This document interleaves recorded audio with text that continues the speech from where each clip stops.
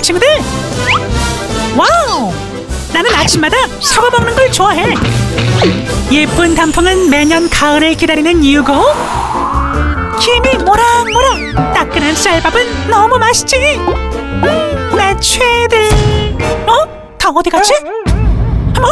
안돼 2050년에도 지금 우리가 좋아하는 걸 마음껏 누릴 수 있게 안 쓰는 물건 나눔하고 다회용기 사용하며 불필요한 앱은 삭제하기 나랑 같이 해보자. 탄소를 줄이는 확실한 행동. 탄소 중립 소확행 시작